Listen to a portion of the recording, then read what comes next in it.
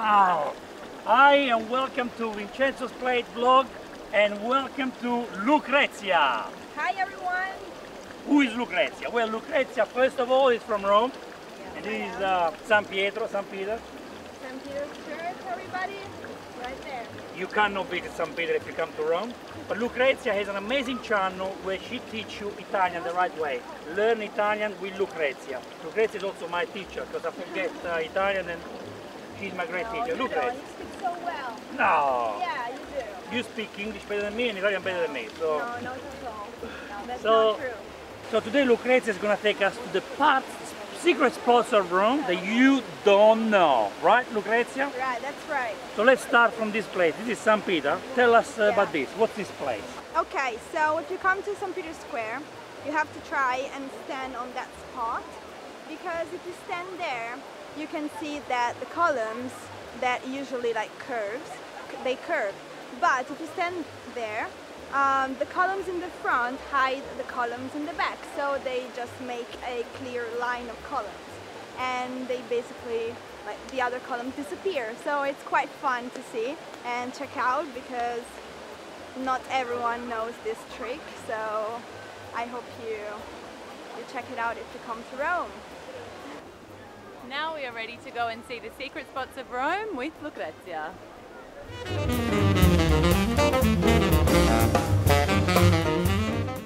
That's how I feel like going today. So hot. Yeah. So I've, I've been coming to Rome for about 30 years now, and I've been to a place like this. This is we are right in the center of Rome, and what's Yeah. this hidden secret spot? Lucrezia, tell us.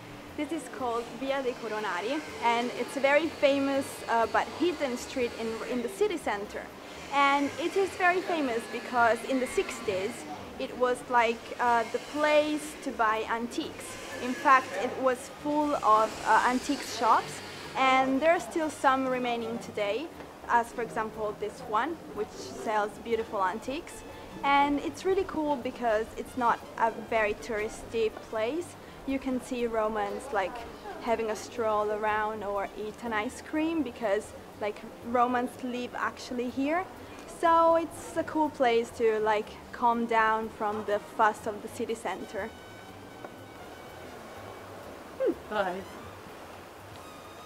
Thank you so much, Lucrezia, for showing me and our friends this beautiful uh, secret spot of Rome. It was a pleasure. Thank you for following me.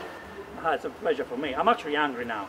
So Lucrezia is gonna take us to this beautiful Roman restaurant where you have the authentic Roman dishes. Yes. Something like Like a matriciana, bucatini alla matriciana, but like the real ones. the real deal. Yeah, the real deal. you don't go to this place to have carbonara with cream. You have the real carbonara as well, right? Yeah. So we're gonna go. What's it called? Uh, Trattoria Lilli. Oh, sounds good. Yeah. Lilli's the chef. No, I don't know who that is. Someone. but yeah. The nonna. Someone So- in the family for sure. So stay tuned because in the next video you will see the best place to eat in Rome according to a friend from Rome, Lucrezia. So thank you very much for watching this video. We will see you in the next Vincenzo's Plate vlog and um, make sure you check out Lucrezia's channel if you want to learn how to speak Italian very well and learn more about the culture. So Lucrezia, what's it called? Learn Italian with Lucrezia, simple as that. Very Just- simple. Type it on Google. Also check out the link here. Can you see the link? Can you see it? Yeah, here, here, here. So see you soon. Bye. Hug.